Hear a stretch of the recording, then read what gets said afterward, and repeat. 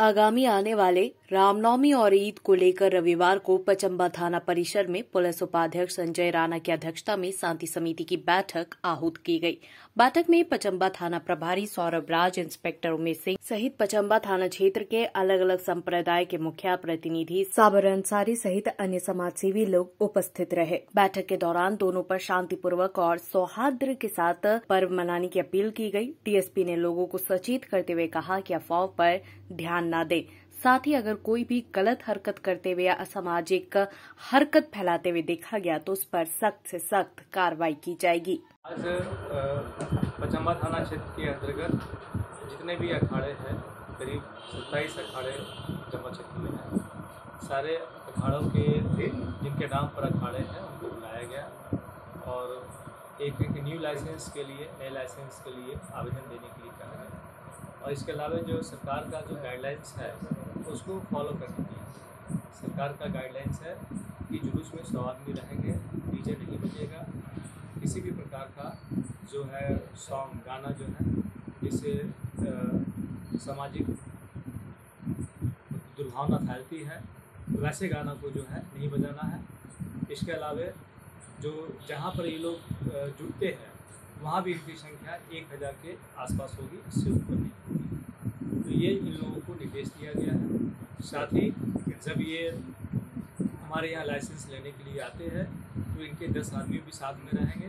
उनके सदस्य के रूप में जो अपना वोटर आईडी कार्ड वगैरह देकर और उसकी पहचान पत्र होगा साइन इसके अलावा जो भी इनके सदस्य होंगे, सौ आदमी जो जुलूस में निकलेंगे, इनको हमने बोला है कि आप अपने यहाँ एक बैच दे दीजिए ताकि उसकी पहचान सीमित हो ये अमुक क्लब की बैठती है, ताकि दूर से हम लोग पहचान सकें। और फिर इनके जो वॉल्टियर्स होंगे, उनको हम लोग जो है एक पुलिस मित्र का गिरजी देंगे, जो हमारे साथ जो है, ये काम करेंगे, ताकि जो है पुलिस और जो अखाड़े वालों के बीच जो है, एक संबंध बना रहे और हम लोग पीसफुली जो है यहाँ रामनवमी जुलूस को निकाल सकें।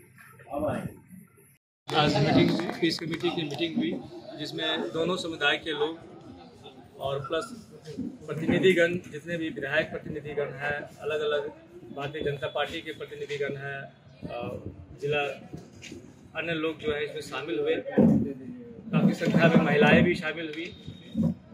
आज का हमारा गाइडलाइंस था कि सरकार का जो गाइडलाइंस दिया हुआ है, उसको आपको फॉलो करना है। इसके अलावा जो आपका धार्मिक समसरसता है, उसे आपको कायम रखना है। एक दूसरे का धर्म का आदर करते हुए आप अपने पर्व को शांति से मनाएँ इसका संदेश हमने दिया है। इसके अलावा जितने भी अखाड़े हैं, उन अखाड़ों को बोला गया है कि आप जब अपने यहाँ अखाड़े वाले जब लाइसेंस बनाते हैं तो दस आदमियों का अपना नाम दे, जिसका मोबाइल नंबर हो, उसका आधार कार्ड हो इसके अलावा सौ आदमियों की जो सूची है, जो जुलूस में शामिल रहेंगे उनका नाम मोबाइल नंबर हो। इसके अलावा प्रशासन की ओर से जो पानी की व्यवस्था है, बिजली की व्यवस्था है, कुछ तालाब की सफ़ाई है, इस सफ़ाई की व्यवस्था के बारे में बताया गया है। जिन लोगों ने बात को उठाया था कि इन इन जगहों पर तालाब की सफ़ाई करवाना ज़रूरी है, उन जगहों पर हमने जिला प्रशासन को खबर किया है कि आप इनकी सफ़ाई करवा दें।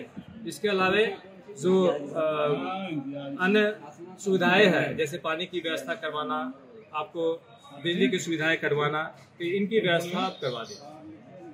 इसके अलावा सारे लोगों को ये हिदायत दिया गया है कि शराब शराब जो है नहीं पिए और शराब पर जो है हम लोगों की छापामारी लगातार जारी रहेगी, क्योंकि शराब पीने के बाद ही जो है बहुत सारी घटनाएँ होती हैं। तो शराब का नियंत्रण हम लोग आज से ही या कल से ही हमने उसको प्रारंभ कर दिया है। हर एक जगह शराब पर छापामारी की जा रही है, शराब को कंट्रोल किया जा रहा है। परिसर में आदरणीय जिला पुलिस उपाधीक्षक महोदय द्वारा जो है सो शांति समिति की बैठक रखा गया, जिसमें माननीय इंस्पेक्टर अनिल सिंह सर और नए थाना प्रभारी Saurabh Raj sir, SI Umesh Singh sir उपस्थित थे और तमाम पचम्बा थाना क्षेत्र के तमाम जनप्रतिनिधि, वार्ड पार्षद और तमाम समाज सेवी उपस्थित हुए, जिसमें हमें रामनवमी और रमज़ान के, चूँकि ये दोनों पर्व एक बहुत बड़ा समझिए कि ऊपर वाला का वरदान है, जो हम लोग को एक साथ मनाने का मौका मिला है हिंदू मुस्लिम पर्व जिस तरह से हम लोग होली और शब बरात को मनाए थे तो इस तरह से रामनवमी और रमज़ान को भी हम लोग शांतिपूर्ण तरीके से मनाना है। इसमें हमें जो भी हमारा जो जुलूस वगैरह जो निकलेगा, उसको शांतिपूर्ण तरीके से हमारे जो समाज, जो सहयोगी लोग रहेंगे, उन्हें चौक चौराहे पर, जहाँ से हमारे मुस्लिम समुदाय की आबादी है या मस्जिदें हैं, वहाँ हम लोग उसको शांतिपूर्वक पास कराएँगे और कोशिश करेंगे कि किसी भी तरह की कोई वाद विवाद या अप्रिय घटना ना हो। अगर किसी तरह का कुछ बात होती है तो तुरंत हम लोग प्रशासन को संपर्क करेंगे और उन्हें उस बात की सूचना देंगे, ताकि समय पर उस चीज़ को कंट्रोल किया जा सके। धन्यवाद।